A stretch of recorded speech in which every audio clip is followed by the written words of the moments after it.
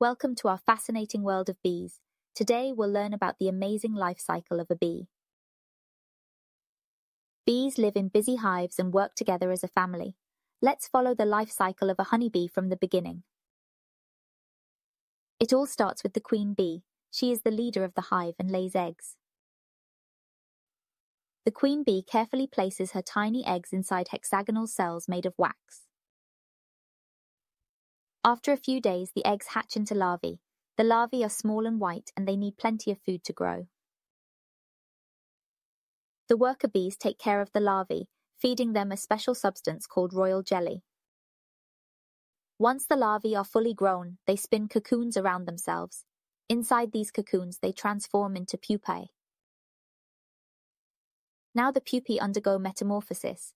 During this stage, a magical transformation takes place. The pupae are changing into adult bees.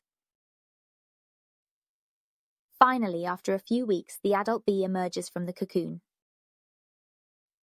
This new bee is called a worker bee. It has fuzzy yellow and black stripes and is ready to start working.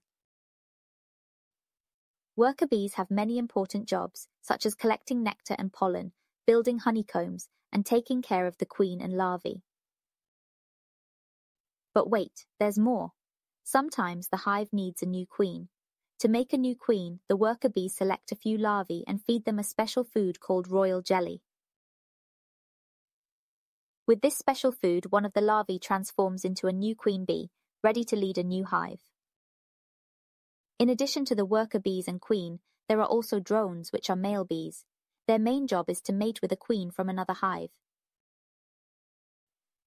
When the hive gets too crowded, the worker bees create a new queen, and a part of the colony leaves in a swarm to find a new home.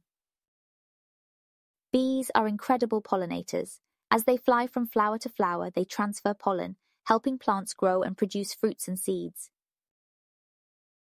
And that's the amazing life cycle of a bee. Bees play a crucial role in our environment, so let's do our part to protect and appreciate these remarkable creatures. Thank you for joining us on this bee-filled journey. Please subscribe for more videos.